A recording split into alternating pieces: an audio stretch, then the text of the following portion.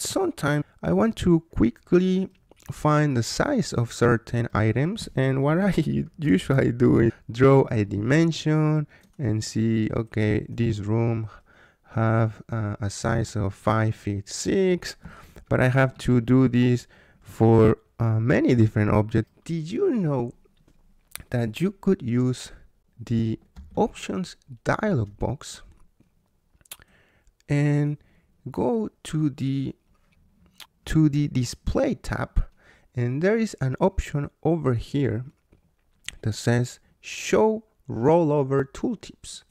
Once we check that and hit ok what's gonna happen is that we don't need anymore to use the dimension to find sizes of objects. You could simply now hover over an item and boom the length of your lines or polylines will shown as you are seeing it right now. Isn't that great guys? And so not only that but you could also hover on close polylines and you will immediately see the area as you are seeing it in your screen. And we can change some of the properties that we want to see on this rollover tooltip, right? If we go to the CUI to open the customize user interface, we go under the rollover tooltips right here.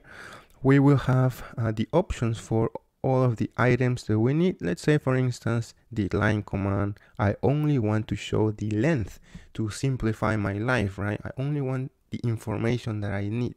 So then I can uncheck the rest and once I hit apply and OK what's gonna happen is that when we hover on an, on an item like this line I will only see the length right?